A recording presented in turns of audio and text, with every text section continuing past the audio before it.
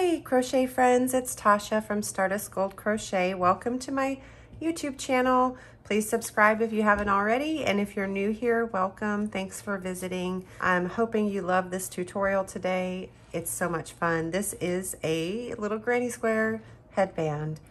I have never liked granny squares. I'm just gonna be straight up honest with you. Mm. But for some reason lately, because they're just saturating everything, I've kind of like, okay, okay, I can see the, uh, but what it is, is I don't like crocheting them. So what I've done is I created a slightly modified version of the granny square. This is kind of my, my own version, one that I think is easier to crochet. So what I'm gonna show you today is how to create the granny square. I'm gonna do kind of like a little tiny mock-up, like three wide or something, or enough to make like maybe a granny square bracelet or something like that. So two, let's do two and we'll make a granny square bracelet. But for the headband, you wanna make one, two, three, four, five, six of them. Or this pattern will be on the blog for free. Um, there'll be a PDF available for everybody who wants a PDF, and that'll be in my Infinite Yarniverse shop on Etsy, Ravelry, and all those, uh, you know, the normal shops. I prefer if you buy from the Infinite Yarniverse though, because that's my shop. For all the lifetime members, you guys can get the PDF for this. It'll be in your inbox. Just log into the Infinite Yarniverse and go grab your PDF. Okay, so what you'll need for this tutorial is I used five different colors of yarn.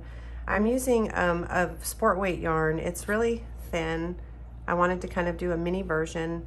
So the colors that I used for this are, the white color is called Axonite, and it is color 831, and it's called Axonite. I hope I'm saying that right. This is turquoise, and then this is color 811, and it's deep amethyst. This is color 827, peridot, and then this is color, oh, this one's a hard one to say, rhodochrosite, color 835. All of these colors will be listed on the blog and I'll also throw them down below. A 3.75 millimeter crochet hook. You're definitely gonna need scissors because you change colors a lot. Go ahead and also grab a measuring tape. You're gonna wanna measure your head. Most, most adults have the same size head. Um, I know that sounds really funny, but they do. Um, even my grandson's head is almost as big as my head. This headband measures around 19 and a half inches, which is perfect to go around a normal adult size head. If you wanna make it smaller or bigger, just eliminate one of the squares and that should be perfect. Um, eliminating one of the squares will probably add on, let's see, whoops, wrong way. Four of the squares is about 14 inches plus the ends, which are about one and a half, one and a half inches each. So that would be three plus 14, that would be 17 inches. So that would probably be perfect for the size of like a young child, like a toddler or something. The little tails you can adjust and make as long or short as you want them to. So let's get started. Grab your hook. I'm gonna show, I'm gonna do two squares and then I'll do a border to show you how I did the border and then I'll do the little um, end piece and the chain. These little beads I've had forever in my bead stash. Um, they have kind of a little bit of a wide uh, hole in them so you can get, I was able to get this through so you can use any beads and I just tied knots. I put one on, tied a knot, put one on, tied a knot, put one on, tied a knot. That's it. Let's get started. You're gonna learn a few new, techniques today if you haven't already known what they are. I'm gonna pull this out. Um, so for this granny square, which is unlike any granny square you'll come across, or maybe not, I don't know, nothing's real original. We're gonna do a magic circle to start. So I do this, you can do a magic circle any way you want. Um, I'm gonna do that again. I put it in this first one, then I grab the second one and pull it up and kind of twist it around. And then I twist back around this way and pull through. So that's how I do my magic squares. I'll put a link down for my magic square video too if you wanna practice it. Then I pull that piece out. So what we're going to work today is we're gonna do a stacked double crochet.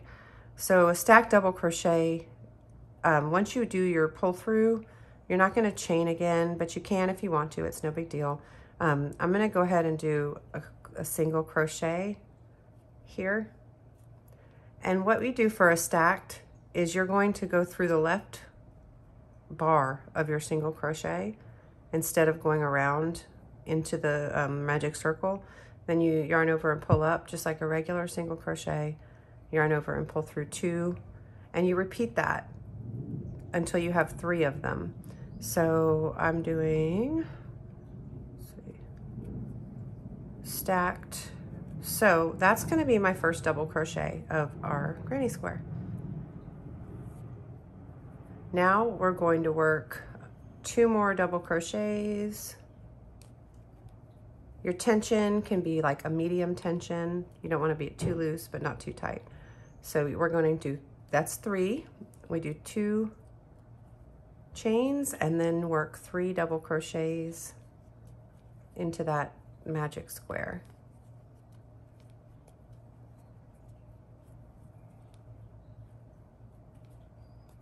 do two double crochets and work three more. One, two, three, two. Did I say double crochets before? I meant chains. Two chains and then three double crochets. One, two, three. So we should have one, two, three, four sets of three. And that's when we're going to pull our magic circle tight. But first untangle it because sometimes they get wrapped up. So I'm going to pull it tight like that. There we go. And we're going to do two more chains to close out. And we're going to join into the very top of that stacked single crochet slash double crochet from the beginning.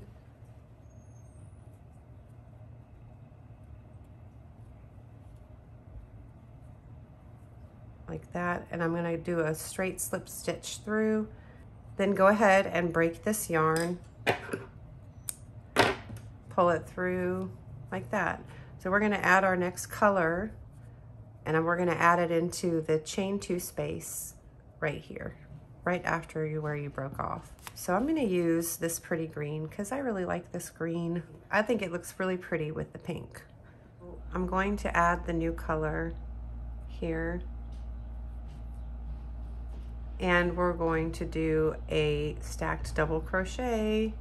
So I'm gonna chain one through, then go back through the center and kind of wrap that tail around it yarn over and pull up a loop, then pull through both. So you made one single crochet, then go back through the left bar and you do another single crochet and one more time and that'll be your stacked double crochet.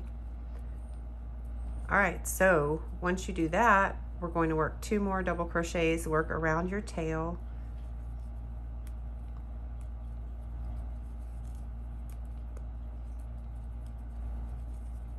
Oops. Okay. I almost went too fast. So you'll have three double crochets, chain two,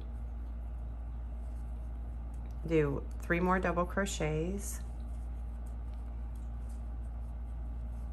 I'm working around the tail as I'm doing this, so it's a little bit easier. Honestly, though, it's still not easy. Chain two and work three double crochets.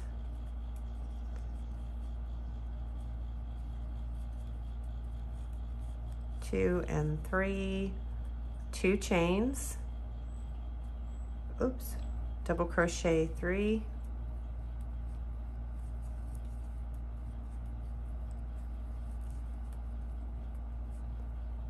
two chains, double crochet three,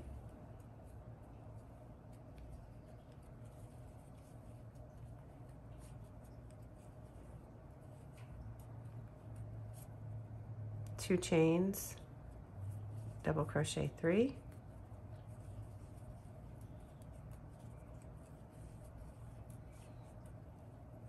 two chains, and then we're gonna work into that chain two from the very end of our first round. Just like before, you do three double crochets, two chains, and three double crochets.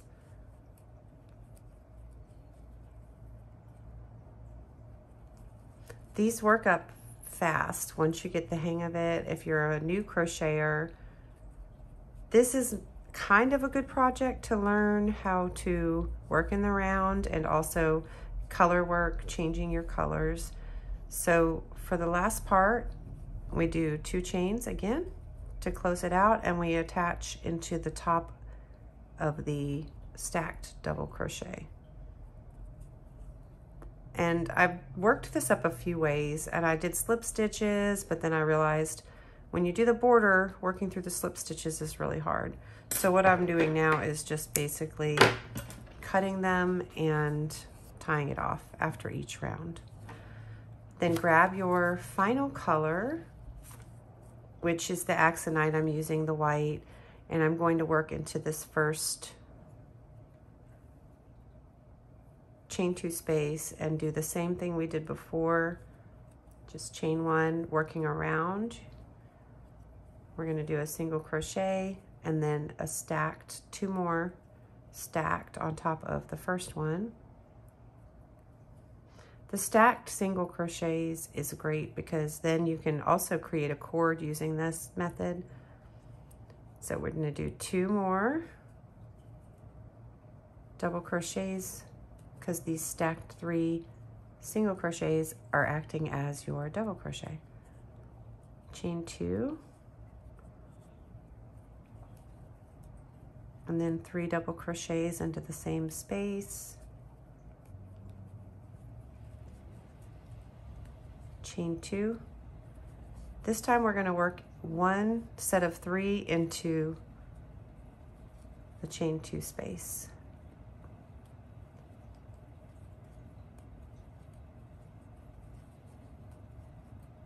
And now we do two more. And we're gonna work three, two chains, and three into the corner space. One, two, and three, two chains.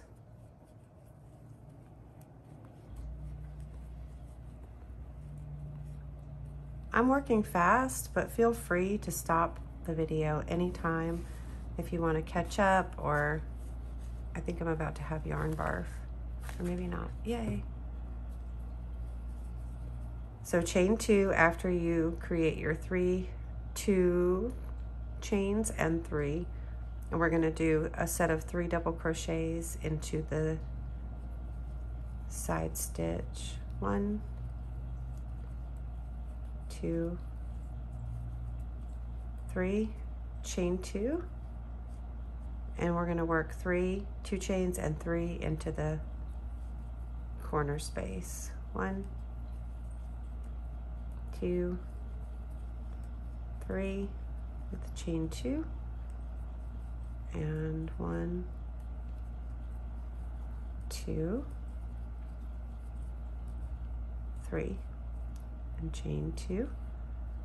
Again, we're going to do three into the side so in the corners, you're working three plus a chain two and three. In the sides, you're just working a set of three double crochets. Chaining two in between each set of double crochet, of three double crochets. One, two, three, plus a chain two. One, two, three and a chain two. And the last one is where we did our join. You're gonna weave these tails in. You can always crochet over them this way too if you want. It's one, two, three, oops. Working with the small yarn can be a little, ah, I dropped it twice. See, a little tricky to close it out, chain two, and then join into the very first stacked. And again, just like before, I'm gonna go ahead and snap, snip that yarn and just pull it on through and close it out. The border is gonna cover up a lot of this. So there we have our first little square. So I'm gonna work another square off screen and when we come back, I'll show you how to do the border. All right, I have my two little granny squares and now I'm going to show you how to do the border. I'm gonna do a pink border. Okay, so I'm not bothering weaving in the tails just yet. You can do that when you're finished. Um, I am gonna work this part on the top side. So when you're lining them up, make sure that your tail for the very last row is on top like this. So both of them are on top. Oh, hi Yuki. Hi, Yuki. Are you going to come do this with me? Okay, so I'm going to grab my yarn. We're going to do our first stitch in the corner, top right corner. You want your right side facing you. And I'm going to add my yarn and I'm going to do a pink border. Attach your yarn, chain one, and we're going to work a half double crochet into that same space then we're going to work a chain two and one half double crochet into that same space like that. Oh, did I just do a double crochet? I did. That's when, when you've been doing them for so many double crochets, you're like, oh, switching speeds. So I'm doing a half double crochet and I'm gonna work a half double crochet into each stitch. So don't forget that this one kind of hides. This is your double one, two, three. So you want to go into this space right here. And I'm going to do half double crochets across into each stitch. Then so, just like you have two chains, we're going to work two half double crochets into each chain two space. You continue that across working one half double crochet into each double and then two into the chain two space. And for this tail I'm just going to end up working over this tail. Oh I just yeeted that across the table. And so I'm to kind of bend that back and pull it a little bit tight while I work into this double crochet. Two. Then there's working into my last double crochet and I'm going to work one half double into the corner space there like that. Then I'm going to grab my other granny square, make sure my tail's on the top, and I'm going to go straight into the front of the corner stitch right here but I'm gonna do a half double crochet, so I'm gonna yarn over first, stick my needle or my hook through there, grab it, and do half double join through there. And then work a half double crochet in each double across, just like we did before, and work two into each chain space. So when you get to the corner, we're gonna work the same type of corner stitch we did to begin with. We're gonna do a half double crochet, two chains, and a half double crochet into the corner stitch. This is my tail, so I worked around that. You can pull it tight if you want. I'm gonna let that down now. And I'm gonna continue working half double crochets into each double crochet and two into each chain space all the way around. So I'll probably end up speeding up the video right about now. All right, when we reach the corner, we do one half double crochet, two chains, and a half double and continue working half doubles in each double.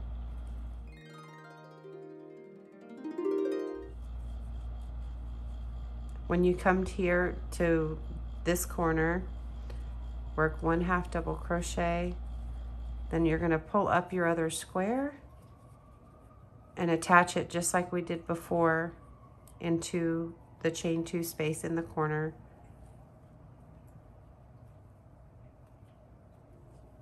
And continue working. When you reach the corner, one half double crochet, two chains, one half double crochet, and continue working your half doubles. Okay, so I have one double crochet left and I'm going to do my last half double into there. Then I'm going to join into the first half double crochet like that. There we have our two squares joined and as you can see there's a giant space right there. So when the time comes, we're going to sew that up with a mattress stitch and I'll show you how to do the mattress stitch. So once we're here, I didn't break my yarn. What we do from here is we're going to create the little border. Oh, this looks so cute with the pink. That For the next row, we're gonna work um, a single crochet row into the back hump or the front hump, however you wanna describe it, um, of the half doubles. So it creates this kind of cool little ridge. Okay, so we're not going to break the yarn. We're going to keep it as is and we're going to chain one. Then we're going to turn it and we're going to single crochet into the back or these front loops, which is actually like, if this is your front piece, that's your front loop, back loop of the half double. I'm sorry, I turned the thing. That's your front loop, that's your back loop, that's your third hump loop. However you want to, some people call it the hump, you can call it the third loop. I call it the third loop. We're going to start with the first one here. This one's a little hard to get into when you're first starting it. And if you want, you can go ahead and work it into the back loop of the very first stitch instead of the hump, which is fine. So I think I'm going to do that for this first stitch. I'm to work it right there. So that's one and work into the back hump. Two, three, four, five, six, seven, eight, nine, ten. 11, 12, 13, and 14. So we should have 14 stitches across. This is what it looks like on the front. For row two of the side border, we need to chain one and turn so we're going to work into the very first stitch doing a single crochet two together which is inserting your hook into the stitch pulling up a loop. Insert your hook into the next stitch and pull up a loop. That is your decrease. So we're going to do that one more time. So now we've taken four stitches and brought them down to two stitches. Then we're going to single crochet six. One two, three, four, five, and six. Then we do the same and do two single crochet two together decreases. So one, that's one decrease, and then we do one more decrease. Chain one for row three and turn, then we do a single crochet decrease, single crochet six, one, two, three, four, five, six, and then we do a decrease. So we have two stitches left, Now for row four, chain one, turn,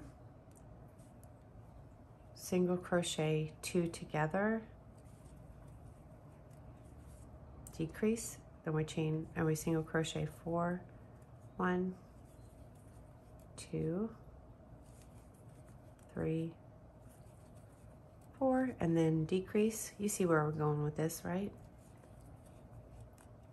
For row five, chain two, I'm sorry, chain one, turn, then work single crochet two together, decrease,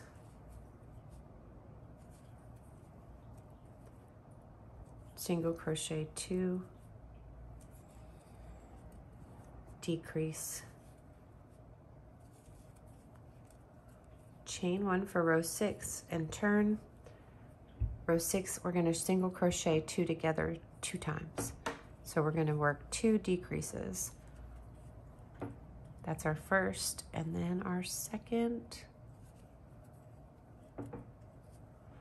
For row seven, chain one and turn. This is our very last decrease. We're making kind of like a little pyramid by doing so many decreases. It's our little triangle. So once you're here, this is when we start working the chain. I, for this, just chained about 36. It measures around, you can make that longer. You can do a full bead if you want. You can be creative as you want. So my chain measures with the end of it was a little bit longer, but the main part of the chain is about six inches long. I did 36 of them. So yeah, you can make this as long as you want or as short as you want, or you could do a stacked, a stacked version too. And just chain, chain, chain. I added my bead. I made a little knot. I tied like three knots in a row. I'm sure there's a better way to do this, but that's just what I did. And I added another bead, tied some knots, added another bead, tied some knots. So that's all I did. And they're pretty secure. They don't come off. Now I'm going to show you guys how to do the mattress stitch to close these up. And of course, you're gonna have lots of tails to weave in, which is always fun, not fun. This is what ours looks like so far. I just love this. I just think it's so cute. This will be a cute little bracelet. So for this bracelet, I will probably just do one side like this and add a button over here or something, you know, and maybe just make a loop right there. That would be so cute. Oh yeah. I'm gonna look like a granny square Wonder Woman, a granny Wonder Woman, because she had the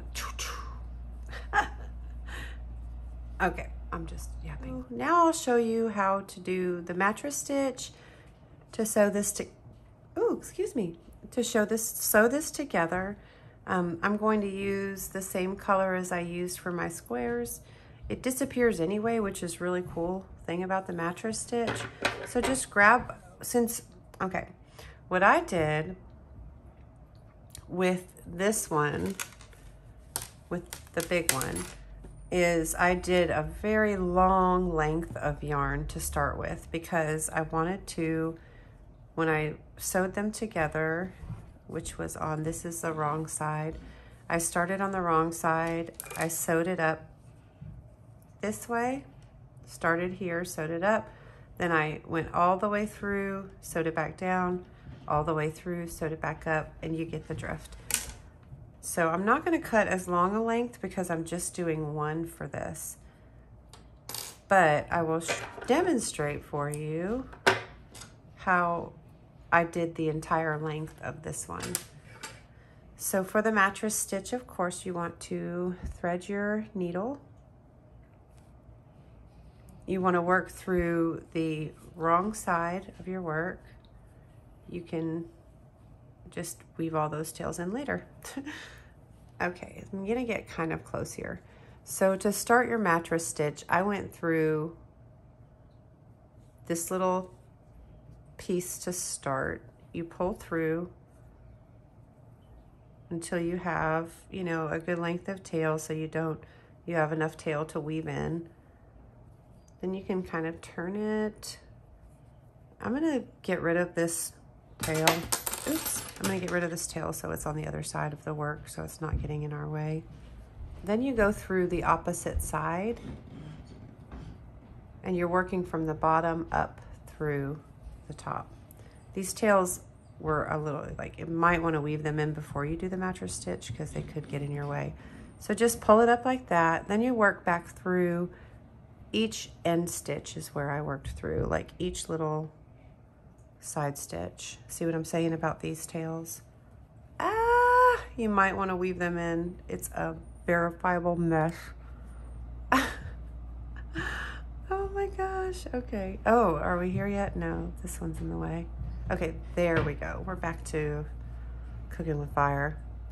Okay, so I just went through that side. Now I'm going to go through that side. So keep going back and forth through Okay, so you keep working like that through each one of these stitches until you reach the very, very top. Just like that.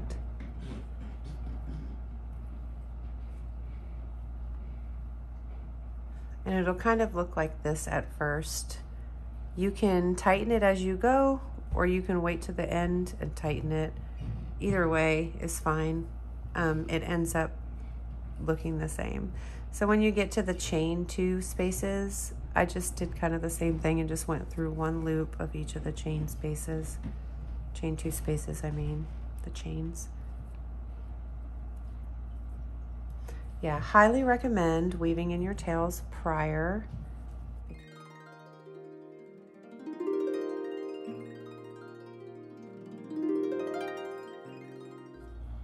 So I'm coming up to the very, very end. I'm going to go through this little stitch, the edge, just one loop of that. I'm going to go back through this one little side right there. Okay, so there we have our completed stitch. Now here's the cool part.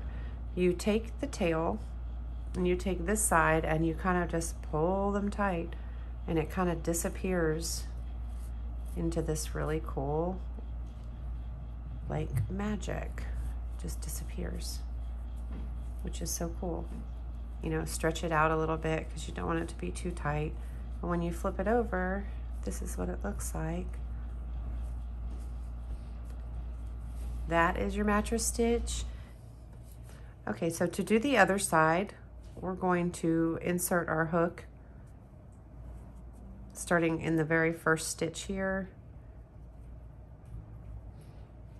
Actually, I'm going to start in this, starting in this space here, which looks like it's the end, but it's actually, that's the stitch. It looks like it's in the chain. So attach your yarn there,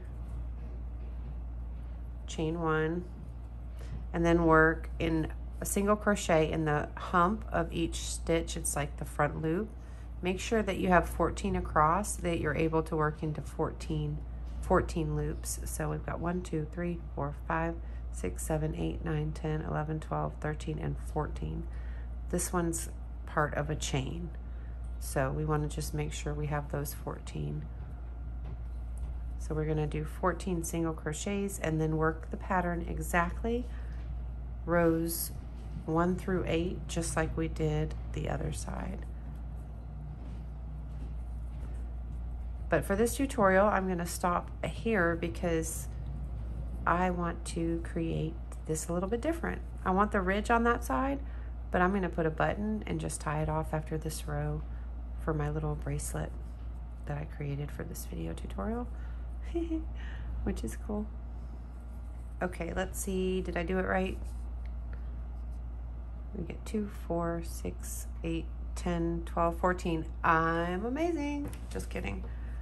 Um, okay. Well, no, I'm kind of amazing. No, I'm not. Yes, I am. Oh, Lord. We're all amazing. All right, everybody.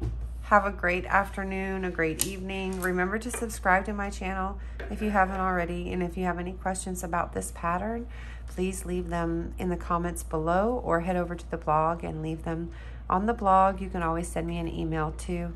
Thanks everybody for being here. I hope you enjoyed creating this pattern and happy crocheting.